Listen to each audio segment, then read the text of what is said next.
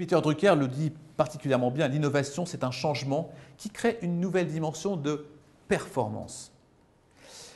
Et cette notion de performance, cette fois-ci, je, vais aller, ça vous connaissez ça par cœur assez vite, mais elle est aussi bien dans l'innovation incrémentale.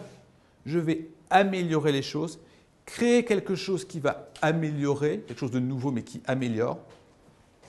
On a l'innovation dite de rupture, disruptive, et qui est plutôt des innovations qu'on appelle radicales et les innovations dites paradigmatiques.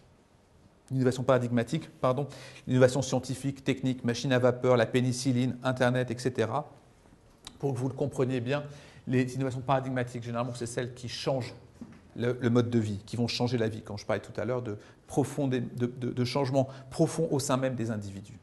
Quand, Steve Jobs lance cette, cette publicité-là, on est en 1983, il le fait à l'occasion d'une convention. Et cette convention-là, il va explicitement dire, nous sommes tous des IBM, nous pensons tous IBM, nous voyons tous IBM, et finalement, nous ne voyons rien d'autre comme possibilité. Il faut que nous cassions cela pour pouvoir comprendre que l'informatique n'est pas qu'IBM et qu'on peut faire autrement les choses. Et il arrive avec le Macintosh, il arrive avec la souris, il arrive avec une simplicité, avec un design différent, avec une, organisation de penser l'informatique de façon radicalement différente. Il prend un, il prend un risque extrêmement important en allant vers cette dimension-là il est quasiment tout seul, en tout cas ils sont très, très faibles en termes de, nombre et d'investissement, etc. Il n'empêche qu'il va venir casser une convention. Il y a de l'innovation, que je nomme comme, comme mode de vie, mais il y a de l'innovation dès lors que l'on crée de la valeur et on a une reprise. Si on regarde par exemple Public Enemy, la façon de chanter, le rap en l'occurrence, aurait très bien pu rester dans un garage aurait très bien pu rester pour euh, des amis euh, dans un quartier, dans son garage, et on chantait entre nous. C'est pas ce qui s'est passé. Si vous-même vous, vous peignez et vous êtes dans votre chambre ou dans votre atelier et comme Monet vous peignez quelque chose, c'est probablement très très bien, c'est pas le problème. Et le fait est, c'est qu'après Monet, il y a Seurat, il y a Manet, il y en a d'autres qui vont utiliser le courant et l'école impressionniste.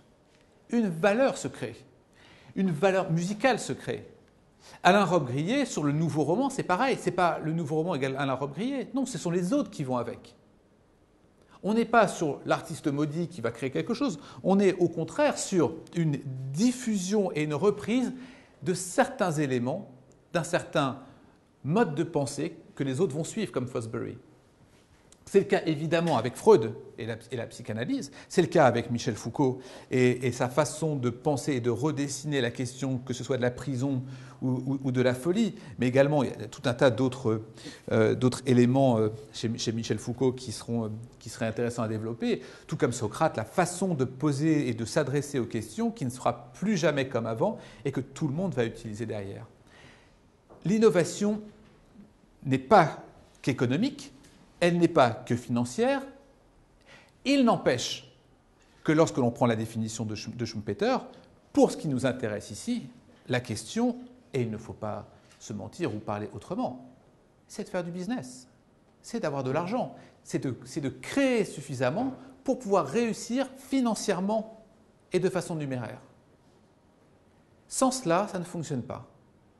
L'enjeu de l'innovation responsable, je vais y venir sur la notion de responsabilité plus tard, mais l'enjeu de l'innovation responsable, c'est avant tout d'innover. Et innover, qu'est-ce d'autre sinon gagner de l'argent?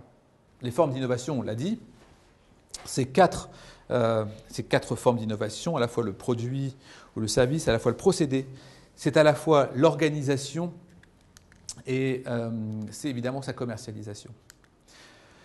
Comme je l'ai rappelez également le manuel d'Oslo, hein, c'est la principale source d'innovation. Et ce qui est intéressant, euh, c'est qu'une entreprise est considérée comme innovante si pendant les deux ou trois dernières années, elle a effectivement innové.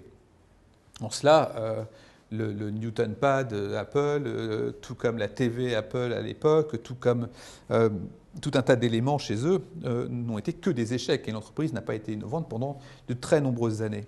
Donc cette, cette question est importante et il est également important que vous mentionnez ce qu'est l'innovation, parce que vous avez en permanence des gens qui viennent, qui viennent vous voir en vous disant voilà, pour moi l'innovation c'est ça.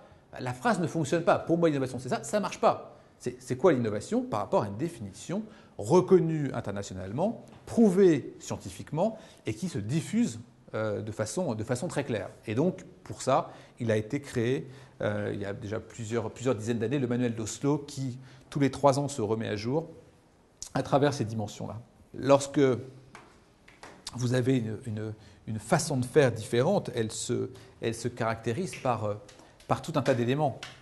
La façon de faire peut être et doit être génératrice de valeur en termes, d'innovation.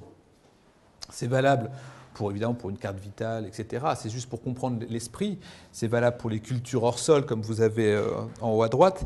Mais d'un point de vue plus euh, business, économique, ce qui s'est passé à travers, euh, à travers cette organisation-là est fondamental. Lorsque vous avez, à la fin des années 90, des entreprises comme Bull, Compaq, IBM, HP, etc., qui s'achètent tous les uns les autres, etc., vous avez un seul qui s'en sort. Un seul indépendant qui aujourd'hui est la première capitalisation boursière au monde dans l'informatique. C'est Michael Dell.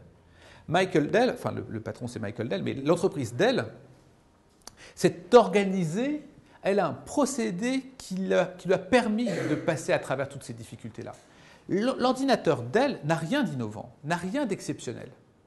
Par contre, il est tout à fait de, très bonne qualité, mais il n'a rien d'exceptionnel. Ce qui est plus exceptionnel, c'est la participation du client qui va téléphoner à l'époque, pas d'Internet, il va téléphoner pour dire comment il veut son ordinateur, comment fabriquer l'ordinateur et comment il va être livré chez lui. Autrement dit, une gestion des stocks parfaite de la part de Dell, aucun coût de, aucun coût de distributeur, de distribution oui, mais pas de distributeur, avec une pertinence sur l'évolution des demandes clients.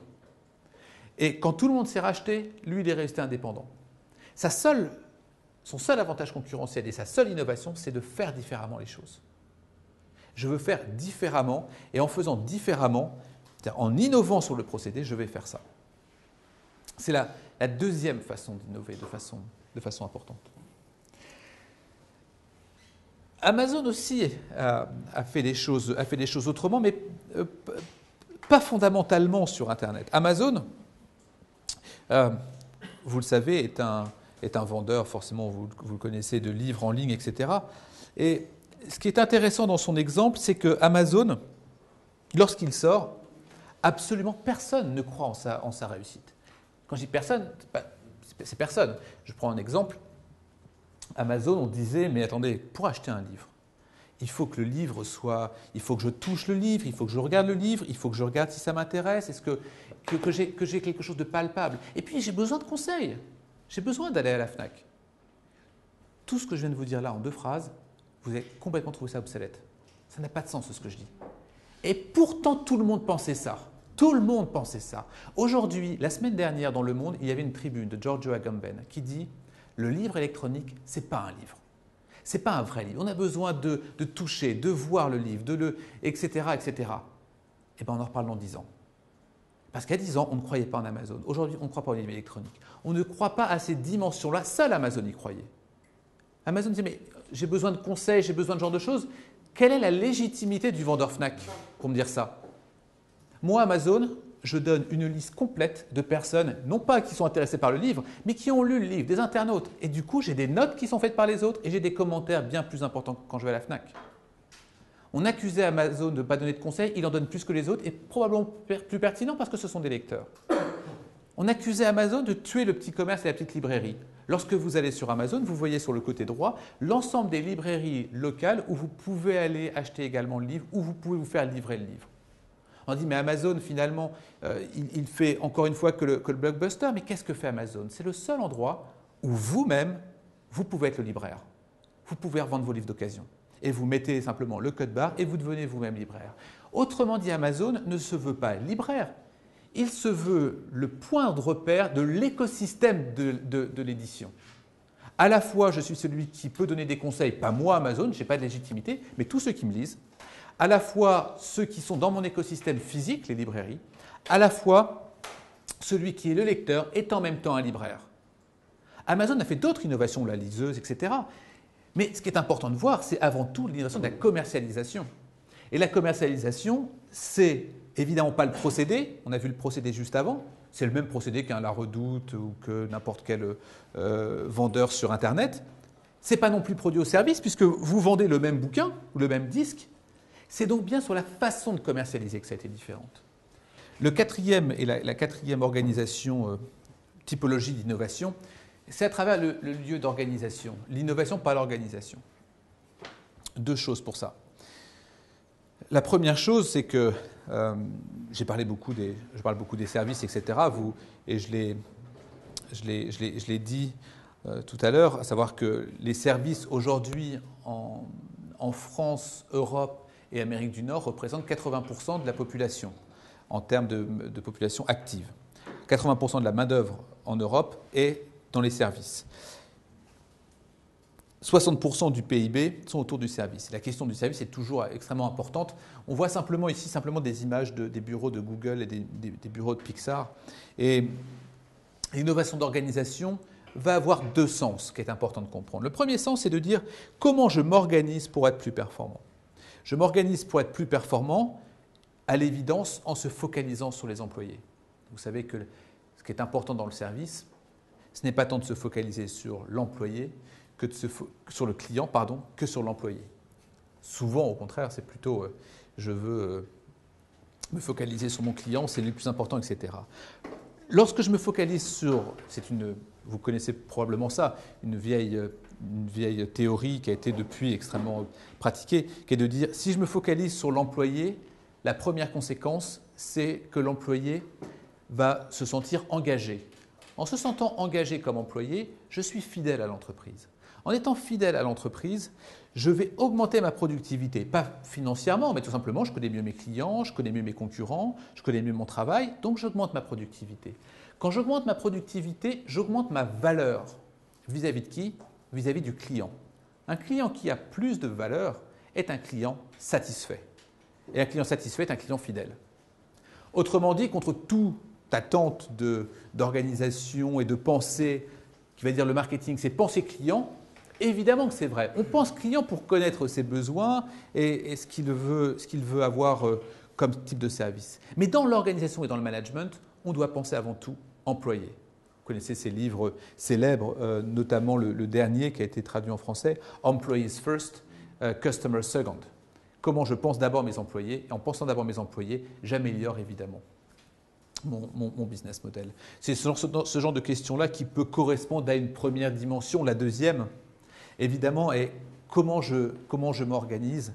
Lorsque, lorsque IBM a, basculé dans un système euh, de services, justement, dans les années, euh, années 90, c'était à travers une question cruciale qui était de dire euh, inspirons-nous de, Rank Xerox. Et Rank Xerox était on ne vend plus de photocopieuses, mais on vend de la photocopie. C'est le business model qui change. Pour tout un tas de raisons, je ne vais pas détailler ici, mais en gros, il y a plus d'intérêt à être vendeur de services de travers de la photocopie plutôt que de vendre du matériel photocopieur. Il y a une notion importante derrière ça. IBM s'est dit, il faut qu'on fasse la même chose. Plusieurs idées à travers les consultants euh, apparaissaient, et dont trois se sont dit il faut qu'on fasse un nouveau logiciel de gestion euh, pour concurrencer euh, les existants, etc. Et les patrons d'IBM n'ont pas cru. Ils n'ont pas voulu croire en ces trois consultants qui proposaient, qui proposaient un nouveau logiciel intéressant. Et ces trois ingénieurs-là ont monté, ont construit SAP, que vous connaissez tous de nom, un logiciel de gestion, euh, que ce soit stock, finance, RH, etc. C'est un logiciel absolument qui peut couvrir l'ensemble des dimensions de l'entreprise. Seulement, il y a un problème. Lorsque l'on fabrique un logiciel, lorsque l'on a un logiciel, on a plusieurs écueils. Un des écueils, c'est comment mettre à jour. Le deuxième écueil, c'est on est trois et on veut mettre le logiciel partout dans le monde. Il y a d'autres écueils sur lesquels je vais revenir. L'écueil qui consiste à dire je vais euh, devoir mettre le logiciel partout dans toutes les entreprises. Il a été résolu par la façon suivante. Les patrons de, SAP, les trois ingénieurs, ont dit le logiciel, on ne va pas le vendre, on va le donner. On va donner le logiciel. Mais comment ça tient alors, puisqu'on donne le logiciel? Eh bien, Tout simplement, pour l'instant, on se dit que le logiciel, en le donnant, tout le monde va le mettre en place. On va le donner à tous nos consultants que l'on connaît, etc., dans tout notre, écosystème. Vous pouvez implanter SAP gratuitement, on vous le donne. il y a une condition. La condition, c'est que chaque fois que vous implantez SAP dans une entreprise, vous allez forcément créer des petits ajustements, des améliorations pour l'entreprise, etc. Eh bien, cet ajustement-là, nous allons l'utiliser pour l'entreprise précédente qui l'a implanté. Je m'explique. Vous êtes l'entreprise X, vous implantez SAP de façon gratuite en termes de logiciel. L'entreprise Y, qui vient après vous, va bénéficier de votre propre développement à travers SAP, qui elle-même va récupérer votre développement et votre compréhension du logiciel. L'entreprise Z qui viendra après vous bénéficiera de votre développement, mais par contre, quand Z développera quelque chose, vous allez récupérer également leur propre développement. Autrement dit, mon logiciel n'est jamais obsolète. Il est toujours mis à jour par le développement des autres, par l'écosystème qu'il est en train de générer. Ce qu'ils se sont dit, c'est que la façon dont on va facturer, c'est de leur passer à l'ajustement individuel par entreprise mais pas le logiciel. Depuis, ils ont vendu le logiciel, etc. Mais ce business model a toujours fonctionné, de dire c'est gratuit, la mise à jour se fait par la mise à jour des autres, et nous, on facture que le temps de présence chez vous.